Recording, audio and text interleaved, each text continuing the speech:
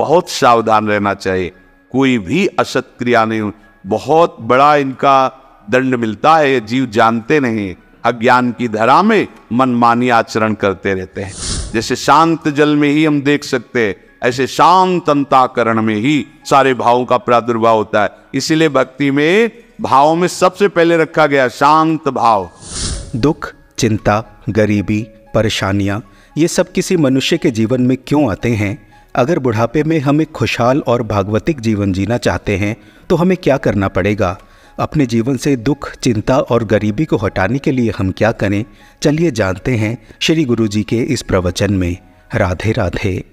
जो मनुष्य मेरा आश्रय लेकर के मेरी प्राप्ति के लिए बताए गए सिद्धांतों के अनुसार प्रयत्न करता है उसके उस प्रयत्न को देख करके हम उसको ब्रह्म स्थिति प्रदान कर देते हैं।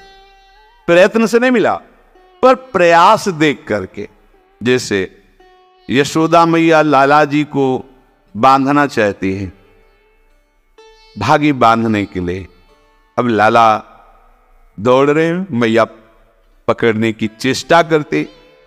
प्रभु पीछे मुड़ मुड़ के देख रहे मैया के माथे पे पसीना आ गया, श्रमित हो रही। पर वो प्रयत्न नहीं छोड़ रहे। प्रभु स्वयं अपने को बंधा दिया। बस ऐसा ही करते हैं।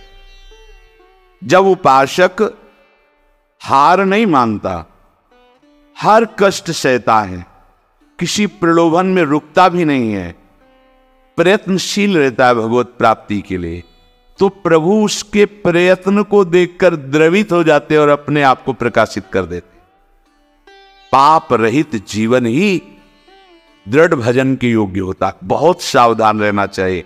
कोई भी असत क्रिया नहीं बहुत बड़ा इनका दंड मिलता है, जीव जानते नहीं अज्ञान की धरा में मनमानी आचरण करते रहते हैं। इन सबसे हमें मुक्त होने का अवसर मिला है। जो मेरा आश्रय लेकर के मेरे द्वारा बताए हुए सिद्धांतों का, प्रभु इस संत रूप में, गुरुदेव के रूप में शास्त्र के रूप में, ब्रह्म ऋषियों के रूप में हमें मार्ग बताते हैं। हम प्रयास करें, पूर्णता उनकी तरफ़ से हो। हम शरणागति का प्रयास कर रहे हैं, पूर्णता उनके हाथ में। हम उनकी प्राप्ति का प्रयास कर रहे हैं, ये उनके हाथ की बात। कब, कैसे हमें मिलेंगे, कौन सी स्थिति देंगे, ये उनके ऊपर की बात। हमें उसका चिंतन नहीं करना। हमें ये चिंतन करना है कि आराध्य देव की सिवा और कुछ चिंतन ना होने पावे। ये वृद्धावस्था और ये मरण अवस्था जीते जी मुक्ति प्राप्त करने के लिए मानव देह मिला है। अगर आप प्रयासरत रहे, जीवन में अनुभव आपको नहीं हुआ और कभी भगवत आश्रय छोड़कर आप इधर उधर भटके नहीं तो आपका शरीर पूरा होते होते भगवान अनुभव करा देंगे। पीछे ऐसा वर्णन किया है स्वयं प्रभु ने उस समय मैं स्वयं आकर स्मृति रूप से उसके हृदय में जागृत हो जाता हूँ, क्योंकि जीवन भर लड़खड़ाते हुए ही सही पर हमारी तरफ़ चलने का इसने प्रयास किया है। पर हमने महापुरुषों के मुख से सुना है कि जो उपासक बाल्यावस्था से ही भगवान के मार्ग में लगे हैं, उनको इस बात पर नहीं संतोष कर लेना चाहिए कि मरने के बाद भगवान मिलेंगे। नहीं, जीते जी अनुभव करना है। शरीर छूटने के पहले ही हमें शरीर छोड़कर वो स्थिति प्राप्त करनी है, जो भागवती की स्थिति है। ये शरीर ऐसे ही अनुभव होने लगता है, जैसे कोट, शर्ट बनियाइन स्थूल शरीर, कोट। सूक्ष्म शरीर, शर्ट। कारण शरीर बनियाइन लेकिन पहनने वाला अलग है। पहनने वाला न कोट है, न शर्ट है, न बनियाइन है। बिल्कुल अलग प्रतीत होने लगता है। अपना स्वरूप अपने आप से अनुभव में आता है। किसी इंद्रियों के द्वारा नहीं, किसी करण के द्वारा नहीं, अपने स्वरूप का अनुभव अपने स्वरूप से ही होता है।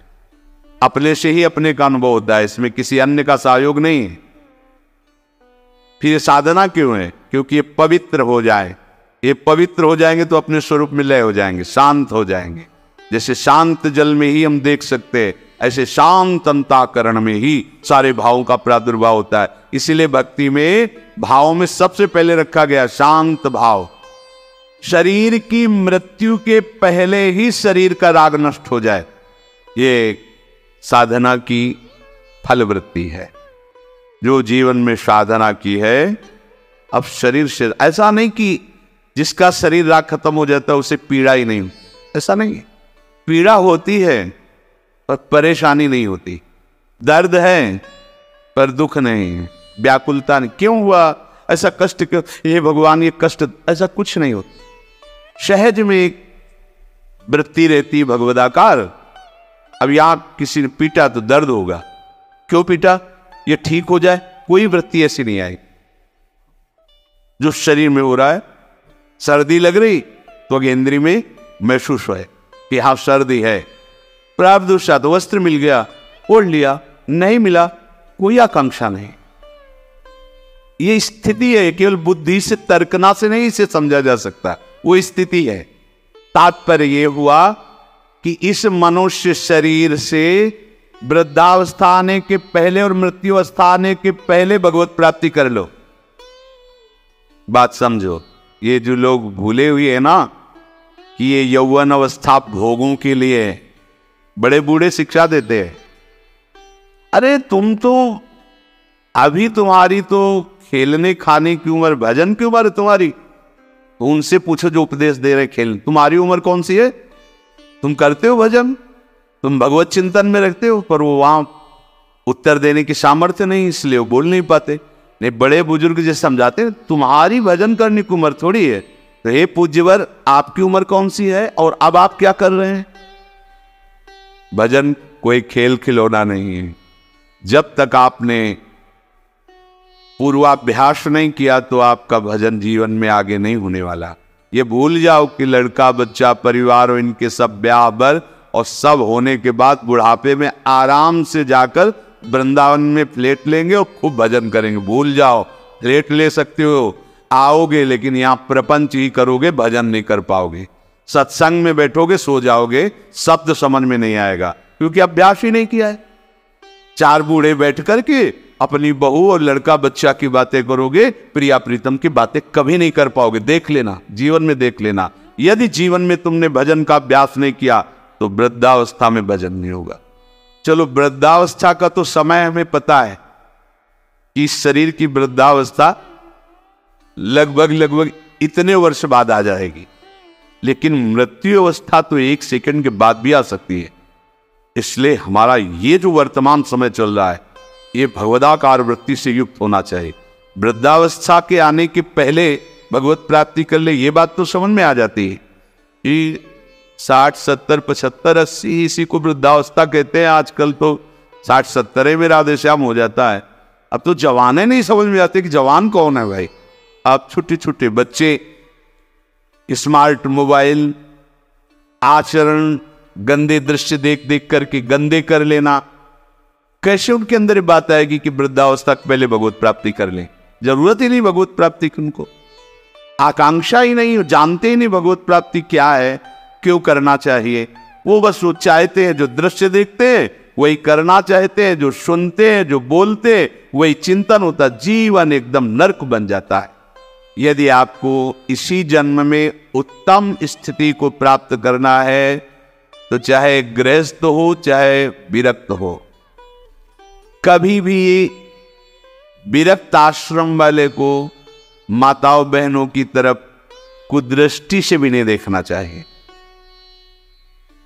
कुदृष्टि, भोग भावना। जननी सम जान पर नारी धन पराय विस्ते विषभारी जिन्हें राम तुम प्राण प्यारे, तिनके मन शुभ सदन तुम्हारे। मातृवत पवित्र भाव अपने को तो श्री जी की सखिया है। जैसे ललिता विशाखा चंपक चित्रा तुंग विद्यारंग देवी, इंद्रलेखा और सखी सुदेवी, सकल यूथ हित सेवी, ऐसे ही चराचर की जितनी शरीर में भावना हम पवित्र कर पाएँगे, उतने दोष हमारा नष्ट हो जाएगा। ये जितनी स्त्री शरीरधारी, ये सब मेरी प्यारी जी की लाडली सहचरिया है। इनके चरणों में प्रणाम। बस, विरक्त उपासक को माताओं बहनों से आँख मिलाकर कभी बात नहीं करनी चाहिए। उनके मुख की तरफ़ आए उनके चरणों की तरफ़ देखो, चाहे बच्ची हो, चाहे यौवन अवस्था चाहे वृद्धावस्था की हो। विरक्त साधक को कभी एकांत में माताओं बहनों से संभाषण नहीं करना चाहिए। बीच में किसी को डाल, और दूसरा साधक को खड़ा हो गया नहीं, बाहर निकलो, बाहर। अगर बात ही करनी है तो मैदान में करो, खड़े होकर के। और क्या बात करनी है? हम भगवत प्राप्ति के मार्ग में चले। हमें क्या बात करनी है? बहुत सावधान रहना चाहिए। गृहस्थ धर्म के उपासक को यदि ब्याह हो गया है तो अपनी पत्नी से वो भी धर्मानुकूल। पशुवत व्यवहार नहीं। और पर स्त्री की तरफ़ तो दृष्टि ही ना करे भोग वृत्ति की। अगर की तो सारे सुकृत नष्ट हो जाएँगे, चाहे वो स्त्री शरीर, चाहे वो पुरुष शरीर हो। इसलिए पर नारी, पर पुरुष त्याग कर। पर ये सत्संग जिनके कानों में नहीं पहुँचता है, शास्त्र, स्वाध्याय नहीं करते, वो इसे मनोरंजन समझने लगे। इसे धर्म नहीं समझते। वो इसे मनोरंजन समझ क्या इसमें बिगड़ जाता है? जो शास्त्र है, उनका स्वाध्याय कभी करते नहीं। अब उनको जो समय मिलता है तो नोटंकी नाटक सिनेमा देखते हो जिनमें यही सब की पुष्टता होती है। इसी की बाहुल्यता होती वही दृश्य देखते हैं। ना तो कभी भगवत प्रेमी महात्माओं की चरण रज में बैठ करके सत्संग सुना, ना शास्त्र स्वाध्याय किया तो मनमानी आचरण बढ़ते रहते। कैसे भगवत प्राप्ति की बात आएगी? अगर गृहस्थ धर्म में है तो शुद्ध कर्म करे। जो उसके शास्त्र अनुकूल वर्णन किए गए, वो भी सत्संग से ही पता चलेगा शुद्ध कर्म क्या है, अशुद्ध कर्म क्या है। जो दूसरे के धर्म का नाश करता है, कुकर्म करता है, वो कभी साधन मार्ग पर कैसे चलने की सोच सकता है? प्रेत योनि किसको प्राप्त होती है? तो बोले, जो भूत प्रेतों की पूजा करते हैं, जो अंडा, मांस, शराब, ये सब खाते पीते हैं दूसरे के धन को जो चोरी करते हैं, मन में वैर, द्वेष, अहंकार रख करके जो हिंसा करते हैं और पर स्त्री से जो व्यविचार करते हैं, वो घोर प्रेत योनि को प्राप्त होता है, इसका प्रमाण द्वंदकारी है। पढ़ के भागवत में देख लेना। आशा है पूज्य श्री गुरु जी का ये प्रवचन आपके लिए बहुत लाभकारी होगा और आप भी इन बातों को अपने जीवन में उतार कर पुण्य और सुख के भागी बनेंगे। श्री गुरु जी के इस प्रवचन से हुए अनुभव को आप चाहें तो कमेंट बॉक्स में लिखकर हमारे परिवार के साथ व्यक्त कर सकते हैं।